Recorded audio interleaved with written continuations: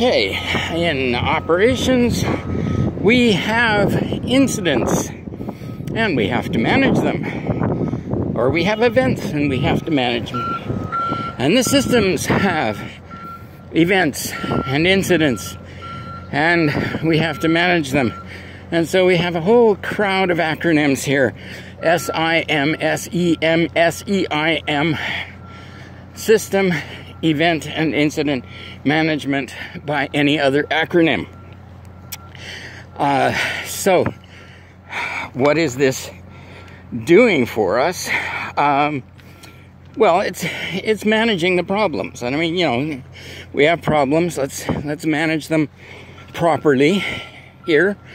Uh, do the right thing in in fixing the problem. Um, make sure that you are fixing the problem, the whole problem, and nothing but the problem, so that you don't create another problem by fixing a problem that doesn't exist or uh, doing something extra that just complicates matters and therefore uh, makes it more likely that we're going to make a mistake.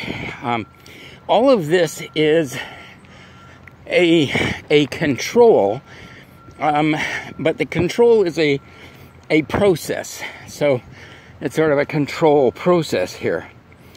Um, we uh, th- there is a, a lot of relation here with audit logs, event logs, auditing in general.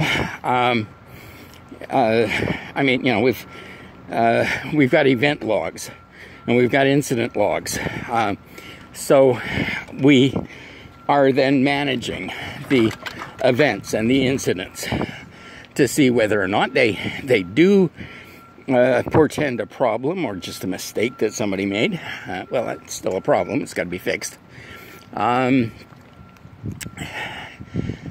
so um, everything that we have talked about in terms of logs, uh, we are yeah, it is going to be applicable in terms of event management, system event and incident management. And we're going to we're going to look more at incident management in um, law and investigation and ethics because investigation is very often investigation of an event or an incident. Um, incident response is another uh, uh, issue, and and we've talked about business continuity planning. Um, incident response planning follows a, a very very similar pattern. As a matter of fact, when I do uh, the presentation on, uh, you know, sort of my one page presentation on uh, business continuity planning, there is a, another uh, one page uh, uh, presentation on incident response planning.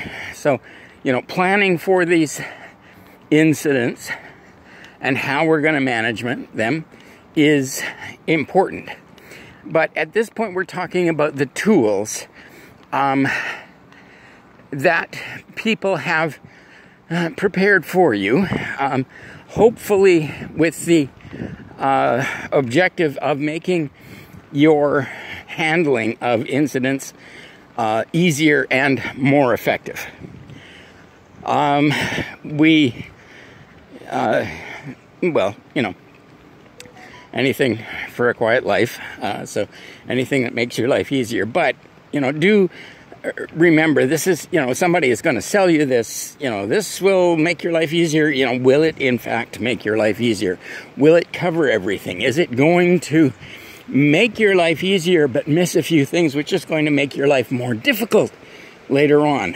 So uh, you know be be careful. Caveat emptor comes into play in a big way here.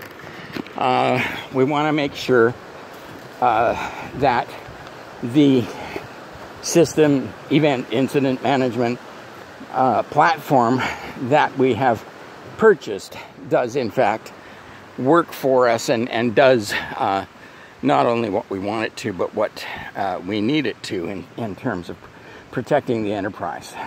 So, uh, so it's going to report on events and incidents, uh, track uh, related events and incidents, hopefully. Uh, hopefully resolve problems affecting the system. Um, one of the things that we want to, the system to assist us to do is to identify different types of problems. You know, is this an error? Is this a problem with our policy? Is this an attack uh, specifically against us? Um, so, um, a uh, you know there there are going to be various things that uh, are specific to our systems and uh, some uh, you know updates to our systems are going to require um, uh, new um, permissions authorizations um, and tools, or at least functions of the tools. And so, again, your, you know, one size does not fit all in incident and event management. Um, you are going to have to ensure that if you get into additional uh, business functions, that um, your system event management software has the capability to look at those functions and, and manage those functions as well. Uh,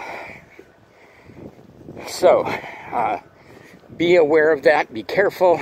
Um, uh, and again, you know, everything we've talked about in terms of auditing, um, a, a, lot of the things that we talked about in terms of change management um, are going to be applicable here and make sure that uh, we have the right thing and we do the right thing with it.